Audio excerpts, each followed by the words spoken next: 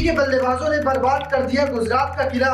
साई सुदर्शन की पारी को विल जैक्स ने कर दिया बर्बाद। पहले विराट कोहली ने मचाई तबाही, बाद में विल जैक्स ने अहमदाबाद में ला दिया छक्कों का तूफ़ान। 16 ओवर में ही आरसीबी ने बना दिए 200 से ज़्यादा रन 25 गेंद में हार गई गिल की टीम।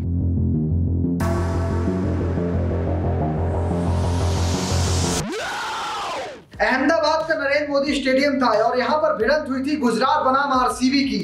जैसे ही शुभमन गिल यहाँ पर उतरे तो लगा कि आज ये टीम बहुत बढ़िया खेल दिखाएगी। पहले तो बहुत सारे रन बनाएगी और उसके बाद इसे बचा भी लेगी क्योंकि यहाँ पर मोहित शर्मा भी कमाल करेंगे, राशिद और नूर भी खेल दिखाएँगे। लेकिन हुआ जो, उसकी किसी को उम्मीद नहीं थी। 200 रन तो गुजरात ने बनाए थे। आरसीबी को जीत के लिए 201 रनों की ज़रूरत थी। और जैसे ही फॉर्ट डुप्लेसी आउट हुए ना, आरसीबी के फैंस तो टीवी बंद कर चुके थे। उन्हें उम्मीद ही नहीं थी कि मुकाबला शायद हम जीतेंगे। लेकिन उसके बाद जो हुआ, उसे देखकर तो हर कोई गदगद हो गया।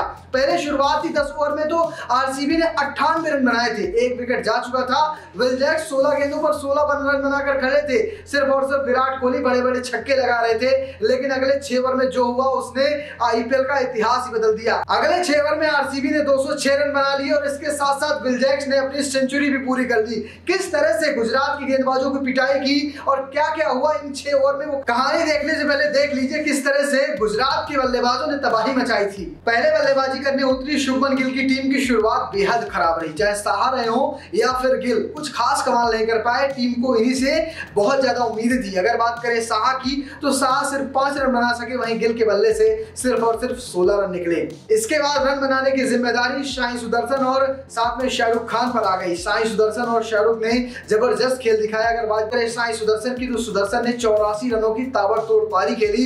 वही शाहरुख खान ने भी एक जोरदार फिफ्टी लगाई और कह सकते हैं कि जो आरसीबी की शुरुआत में बढ़त मिली थी, उसे चकना चूर कर दिया था। आरसीबी का कोई भी गेंदबाज आ रहा था, उस पर जमकर तो हवाई फायर कर रहे थे और लगने लगा था कि शायद गुजरात यहाँ से 220 230 तक पहुँच जाएगी। लेकिन उसके बाद शाहरुख खान आउट हुए, लेकिन फिर आगे जो बल्लेबाज आए, वो खास कमाल नहीं कर पाए। शाहरुख खान के आउट होने के बाद डेविड मिलर मैदान में पहुँचे, उन्होंने 26 रनों की पारी खेली और कह सकते हैं टीम को 200 रन तक पहुँचा दिया। गुजरात की पिच पर ये स्कोर बहुत सेफ़ माना जाता है, बहुत अच्छा माना जाता है। यहाँ रन चेस करना आसान नहीं होता, लेकिन विराट कोहली की टीम ने वो खेल दिखाया जिसकी किसी को उम्मीद नहीं थी। 201 रनों के लक्ष्य का पीछा करने उतरी आरसीबी की शुरुआत कुछ हद तक अच्छी रही थी क्योंकि चौथे ओवर में ही 24 रन बनाकर फॉर्म डुप्लेसी आउट हो गए, लेकिन विराट कोहली एक छोर से खड़े रहे और टीम को जिताने की पूरी तरह से कोशिश करते रहे। और 10 ओवर में टीम ने एक अट्ठानवे रन बना लिए थे, यानी आखिरी 10 ओवर में जीत के लिए 102 रनों की ज़रूरत थी।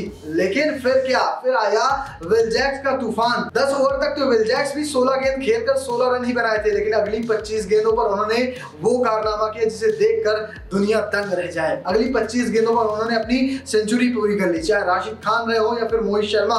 मोहित शर्मा की बात करें तो दो ओवर में मोहित शर्मा ने 40 से ज़्यादा रन खर्च कर दिए। अगर बात करें राशिद खान के, जिन पर पूरा दारोमदार था गेंदबाजी का, उन्होंने 50 लगा ली चार ओवर में उन्हें इक्यावन रन कूट दिए। तो दिखाता है कि विल जैक ने जिस तरह से तूफानी पारी खेली, उसे देखकर आरसीबी के फैंस बोलेंगे, यही हमारी टीम है और हमारी टीम की यही पहचान है। तो फ़िलहाल आपको कैसी लगी? आरसीबी के विल जैक्स और विराट कोहली की पारी और आरसीबी की जीत। कौन बॉक्स में ज़रूर बताना और पेज को फॉलो करना, चैनल को सब्सक्राइब करना बिल्कुल भूलना। धन्यवाद।